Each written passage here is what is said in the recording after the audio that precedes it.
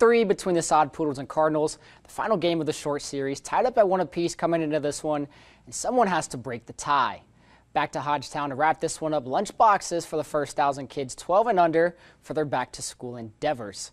Things not looking great for the Soddies. A wild pitch here from Dylan Ray is going to score Nathan Church, and Springfield is out to a 1-0 lead.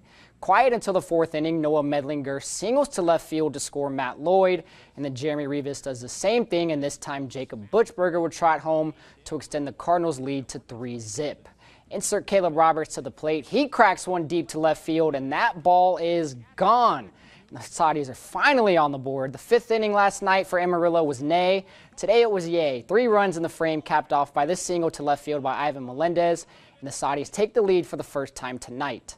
And what's better than a Melendez RBI? A Melendez home run. He hits a bomb out to left field for his 18th this season, still leading the Texas League and gives Amarillo a little more cushion, now leading 6 to 4 and the relievers get the job done for the Sod Poodles. 6 to 5 our final score.